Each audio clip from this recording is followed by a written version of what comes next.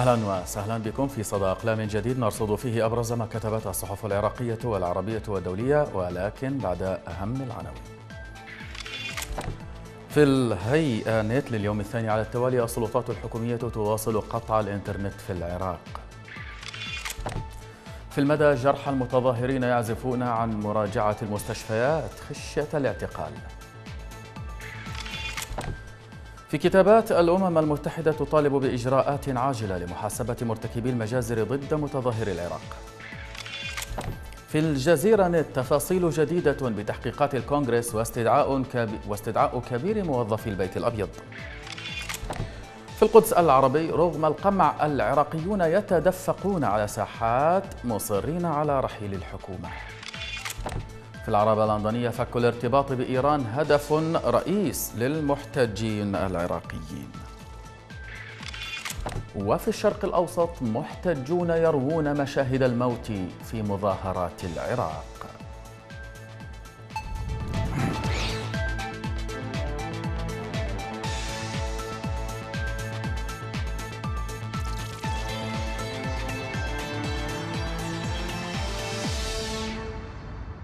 أهلا بكم. يختصر مشهد الموت أو مشهد المواجهات التي جرت أخيرا حول القنصلية الإيرانية في مدينة كربلاء. يختصر جوهر المعركة التي قرر العراقيون خوضها لاستعادة كرامتهم الوطنية المهدورة واسترداد مواردهم المنهوبة ومعها مستقبل أبنائهم الذي صدرته طبقة سياسية تأخذ أوامرها من وراء الحدود وتمثل جزءا من محور استبداد وفساد يمتد من طهران. إلى بيروت. مقال للكاتب مروان قبلان نشرته صحيفة العربي الجديد. منذ الغزو الأمريكي للعراق عام 2003 بدا واضحا مدى إفلاس الطبقة السياسية التي جاءت إلى الحكم بمعية واشنطن ومباركة طهران وبدائية رؤيتها في إدارة شؤون البلاد. إذ تم التعامل مع الدولة باعتبارها غنيمة حرب جرى تقاسمها والسلطة التي أخذت بسيف الأمريكان جرى تحاصصها طائفيا وأثنيا. وفق مبدأ هذا لكم وهذا لنا. وبدلا من نظام رئاسي متسلط يتحكم بموارد الدولة وريوعها نشأ نظام برلماني زبائني وسع دائرة توزيع الغنائم بين مكونات النخبة السياسية التي استولت على الدولة فنشأ واحد من أسوأ أنظمة الفساد في العالم بحسب منظمة الشفافية الدولية. لا عجب إذا أن تغيب الخدمات الأساسية مثل الماء والكهرباء والصرف والصحة وأن تصل البطالة بين الخريجين إلى 80% هذا هو الواقع الذي قرر العراقيون الانتفاض عليه وقد جرت الاستهانه بوعيهم والاستخفاف بعمق انتمائهم الوطني بعد سنوات من التجييش الطائفي والمذهبي في مواجهة جزء آخر من أبناء وطنهم يشاركونهم البؤس والتهميش. لقد أسقطت التظاهرات بحسب الكاتب التظاهرات التي خرجت من المدن والمحافظات ذات الغالبية الشيعية لقد أسقطت خطاب التعبئة والتخويف الطائفي من عودة حكم السنة وهو الخطاب الذي استخدمته أحزاب السلطة طويلا لضمان بقاء سيطرتها عبر تعميق الانقسامات وتخويف العراقيين من بعضهم.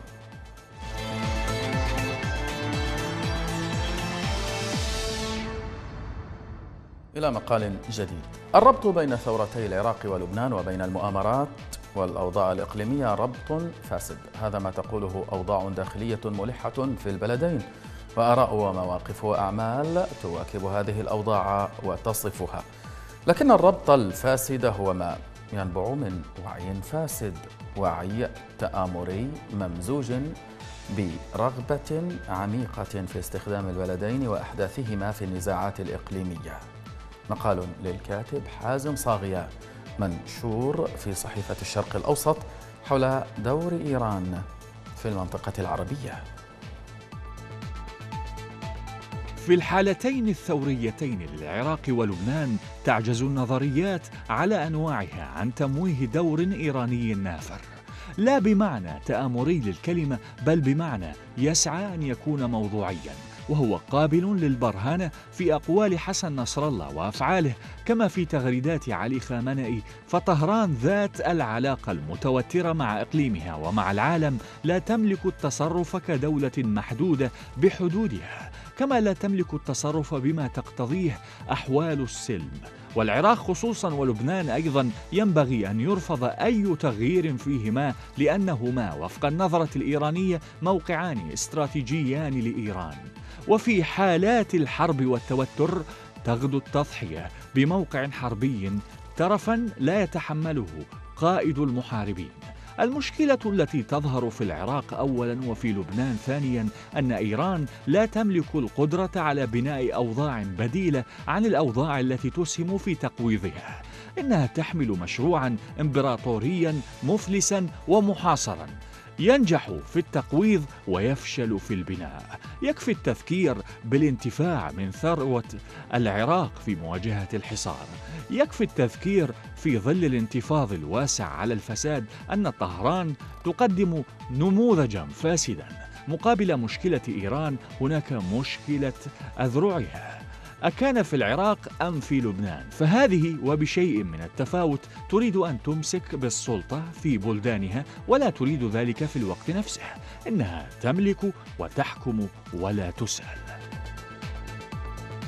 هذا المشروع سواء تمثل بقيادته في طهران أم بامتداداته في بغداد وبيروت لا يفتح على سياسة. فكلما تجمع ألف عراقي أو لبناني في ساحة ما خافت القوى المرعية من إيران وانتابها التوجس. إنها حالة لا تعيش إلا في هامش يتأرجح بين التوتر والعنف مصحوبين معا بالتردي الاقتصادي. فإما ازدهار أو فإما ازدهار هذا المشروع وتعفن الشعوب المطالبة بالتغيير والممنوعة عنه. وإما تغيير وانهزام مبدأ خامنئي.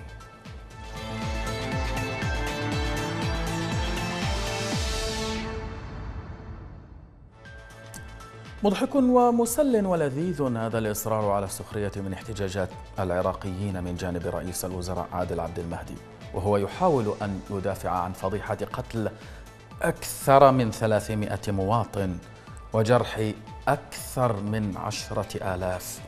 ليقول إن الحكومة لا تزال في موقف المدافع وإن ما قامت به هو قليل ففي بعض البلدان تحصل إجراءات أقسى. علي حسين. يكتب في المدى عن القتل والاختطاف في العراق. قتل 300 مواطن أمر قليل الأهمية خطف المتظاهرين من بيوتهم وتغييبهم أمر قليل الشأن. فالمفروض أن يعدم المتظاهر في ساحة الاحتجاج. يعرف السيد عادل عبد المهدي وهو يحمل الجنسية الفرنسية أن مقتل متظاهر واحد في شوارع باريس يمكن أن يطيح بماكرون وحكومته. وربما تسنى للسيد عادل عبد المهدي قراءة مذكرات الجنرال ديغول وكيف يصف خروج الطلبة عليه عام 1968 وهم يحملون لافتات كتب عليها. ديغول أرحل. عشر سنوات تكفي لكي تتقاعد. لم يحدثهم آنذاك عن الفراغ الدستوري ومن سيجلس على كرسي الرئيس وأن الاستقالة في جيبه لن يخرجها حتى يصل عدد قتلى التظاهرات إلى ألف عندما يقدم المسؤول استقالته بسبب خطأ بسيط. فهذا يعني أنه يدرك جيدا معنى أن يكون مسؤولا عن الشعب. لكن عندما تخطف فتاة مثل صبا المهداوي جريمتها الوحيدة أنها ذهبت لمساعدة جرحى التظاهرات ويقتل صبي أعزل حسوني الدراجي برصاص قناص لأنه وقف على تلة ترابية وهتف باسم الوطن. ندرك جيدا أن الحكومة لا تملك بعدا أخلاقيا لأنها صمتت أمام ما يحدث من مجازر. لا توجد قيمة للمواطن في بلادنا السعيدة إذ يمكن لأي قناص أو ملثم أن يقتل متظاهرا. وستعد الحكومة ذلك إنجازا يضاف إلى إنجازاتها وحلا مبتكرا للقضاء على ظاهرة الزيادة السكانية. ولهذا لم يتطرق السيد عادل عبد المهدي لاختطاف صبا المهداوي لأنها في نظره الآن ترفل في النعيم.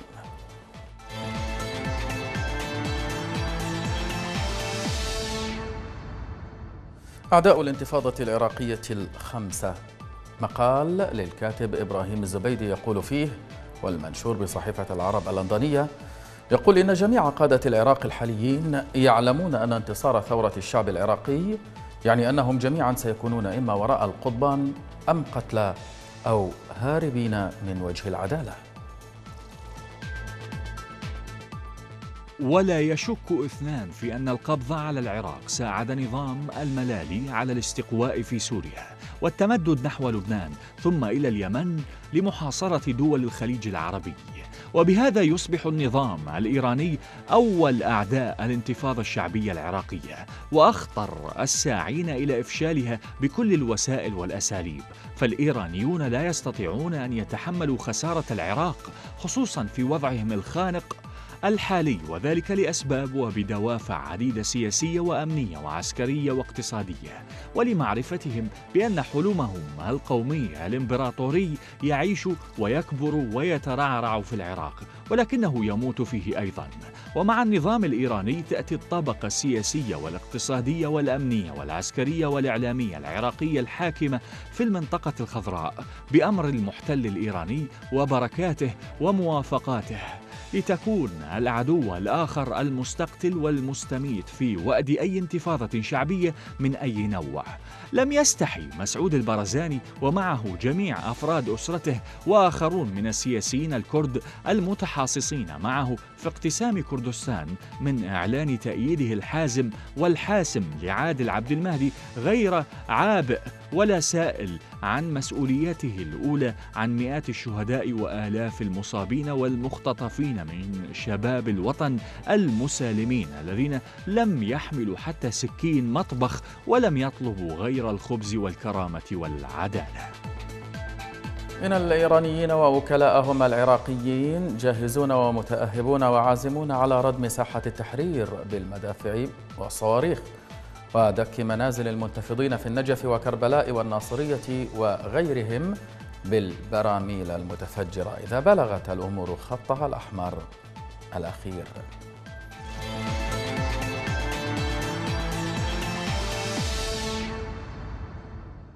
إلى نيويورك تايمز الآن. نشرت صحيفة نيويورك تايمز تقريرا لمديرة مكتبها في بغداد إليسا روبن. تقول فيه إن الأمر بدأ هادئا قبل شهر باحتجاجات متفرقة وتوسعت تلك الاحتجاجات بانتظام حتى تظاهر الأسبوع الماضي أكثر من 200 ألف عراقي في بغداد غاضبين من الحكومة العراقية والمحتل الأجنبي لكن ليست أمريكا هذه المرة بل إيران. في الوقت الذي تختبئ فيه قيادات العراق الحالية في المنطقة الخضراء حيث كان يختبئ المسؤولون الذين أداروا الاحتلال الأمريكي للعراق سابقا فإن المتظاهرين في الخارج يقومون بتوجيه غضبهم ضد الجمهورية الإسلامية في إيران التي يرون أنها تملك الكثير من النفوذ ويهتفون بغداد حرة حرة إيران برة برة. وتقول الروبن أن هناك نضالا كبيرا في الشوارع والميادين في العاصمة العراقية وفي الأزقة وأروقة الجامعة في مدينة كربلاء حيث المقدسات الشيعية وحيث ألقى المتظاهرون يوم الأحد القنابل البترولية على القنصلية لتشكيل مستقبل العراق.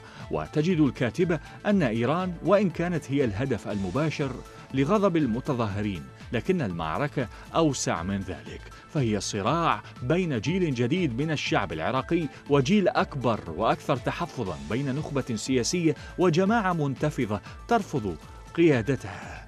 وترى الصحيفة أن أهم من ذلك كله هو الصراع بين أولئك الذين أثروا كثيرا منذ أن أطاح الغزو الأمريكي بصدام حسين. ومن يعيشون على الكفاف وينظرون بعين الغضب إلى الأحزاب السياسية وبعضها مرتبط بإيران وتوزع الأموال على الأشخاص الذين لهم ارتباطات جيدة. وتنوه الصحيفة إلى أن النظام أصبح بعد غزو عام 2003 قائما على المحاصصة الطائفية.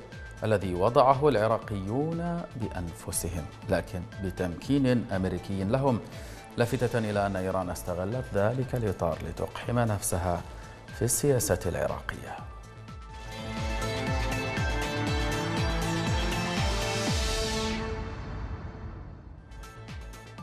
إلى المقال الأخير الآن والمنشور في الدستور الأردنية وجاء فيه ليست إيران وحدها من تبدي اهتماما فائقا بانتفاضتي الشعبين العراقي واللبناني.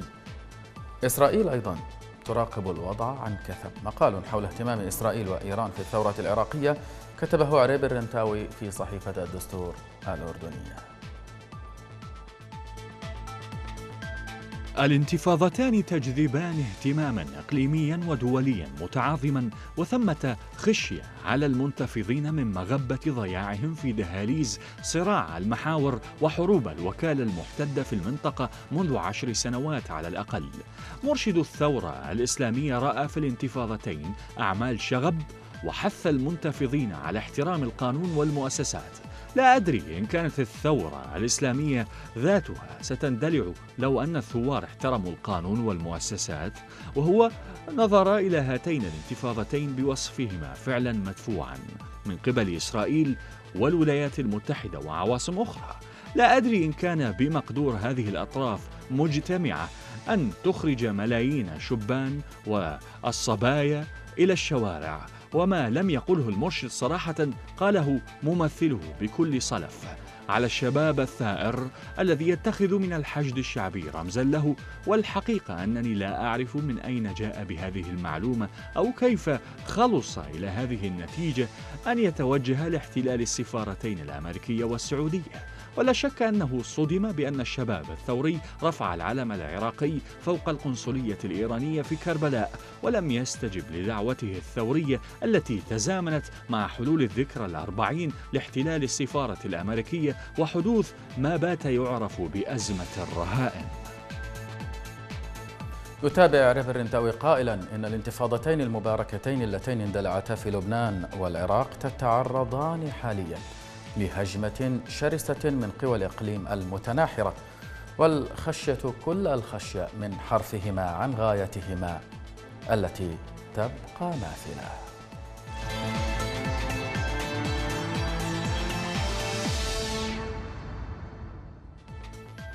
إلى الخبر الذي اخترناه لكم وفيه قالت المستشارة الألمانية أنجيلا ميركل في رسالة بالفيديو أمس الأحد قالت إنه يجب أن يكون لدى بلادها مليون محطة شحن للسيارات الكهربائية بحلول عام 2030 وذكرت قبل اجتماعها مع صناع السيارات اليوم لمناقشة آلية تسريع الانتقال إلى السيارات التي تعمل بالبطاريات المنخفضة قائلة.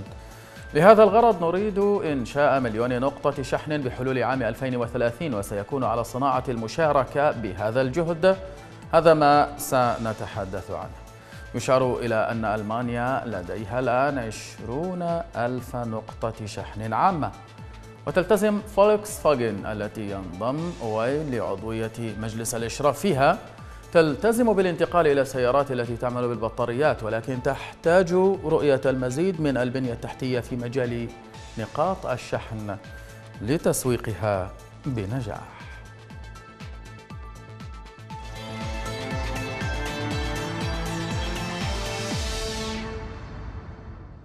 إلى الكاريكاتير.